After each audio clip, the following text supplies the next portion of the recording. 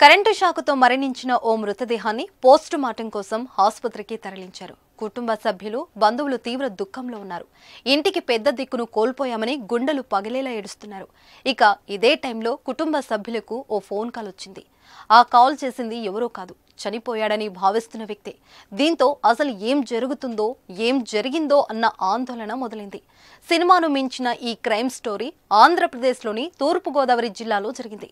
మూవీని తలపించే ఈ క్రైమ్ స్టోరీ గురించి ఇప్పుడు తెలుసుకుందాం.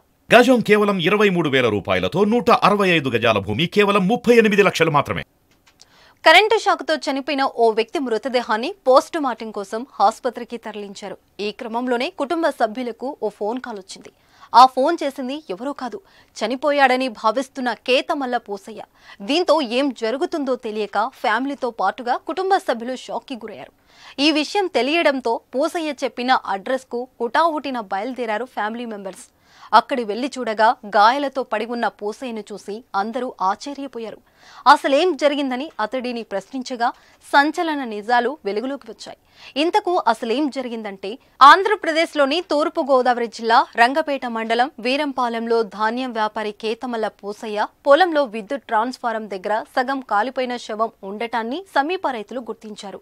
శవం దగ్గర పూసయ్య చెప్పులు ఉండటంతో అతడే చనిపోయాడని కుటుంబ సభ్యులు భావించారు. సమాచారం అందుకున్న పోలీసులు పోస్టుమార్టం కోసం మృతదేహాన్ని ఆసుపత్రికి తరలించారు.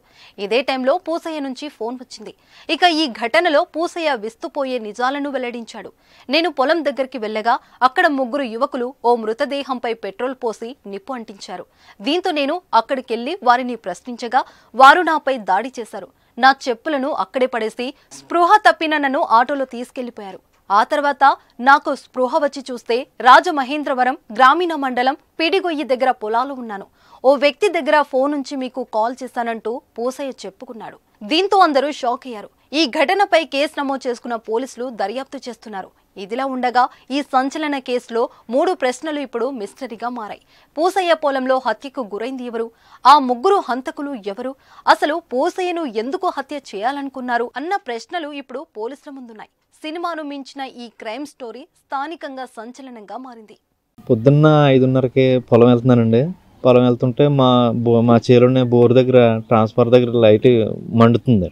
మండుతుంటే అక్కడ ఆగి అలా చూసేసరికి ముగ్గురు మనుషులు దూరంగా ఉన్నారండి. ఒరే ఏం చేస్తున్నారు? ఇక్కడ ఏం చేస్తున్నారా? వైర్లు కోసిపోతున్నారేమో మంట వేసారని ఒరే ఇక్కడ ఏం చేస్తున్నారు? ఇక్కడ ఏం చేస్తున్నారని స్టాండ్ వేసేసరికి వాళ్ళు పరిగెట్టుకుని ఆటో ఎక్కేస్తున్నారు. నేను పరిగెట్టుకెళ్ళి పట్టుకున్నానండి. పట్టుకుంటే వాళ్ళ లోపల వాళ్ళ ముగ్గురు ఉన్నారండి. ముగ్గురు లోపల లాగి చెత గట్టి కొట్టారండి. కొట్టేసి బాటిల్ ఇచ్చుకుని నెత్తి మీద బాగా గట్టి కొట్టేసరికి నాకు స్పృహ స్పృహ లేదండి ఇంకా.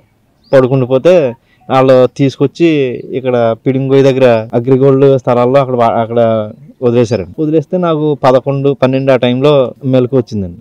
ఫోన్ చేసి మా ఊళ్ళకి ఇన్ఫార్మ్ చేసేసరికి మా ఊళ్ళు వచ్చి హాస్పిటల్ తీసుకెళ్ళారు అది బాడీ ఉందటండి అక్కడ. నేను విజయ్ కుమార్ ఎస్ఐ రంగంపేట. బీరుమౌడి తోటలో ఉన్న ట్రాన్స్ఫార్మర్ దగ్గర కాలిన స్థితిలో సుమారు ముప్పై నుంచి ముప్పై సంవత్సరాల్లో ఉన్న మగశవం పడి ఉండడం గమనించి ఆ ఊరు గ్రామస్తులు ఆ పొలానికి చెందిన కేతమళ్ళ వెంకటేశ్వరరావు అలియాస్ పోసయ్య అతని యొక్క ఫోను బండి అతని యొక్క చెప్పులు అక్కడ ఉండడం వల్ల అతనే అని భావించారు. దీని మీద అనుమానాస్పద స్థితిలో ఉన్నాము ఆ శవం చూసి విలేజ్ అందరూ కూడా అతను చనిపోయి ఉంటాడని భావించారు ముందుగా. తర్వాత ఈ దీని మీద ఆ గ్రామ విఆర్ఓ గారైన రిపోర్టు తీసుకొని దాని మీద అనుమానాస్పదిగా మృతిగా కేసు రిజిస్టర్ చేయడం జరిగింది.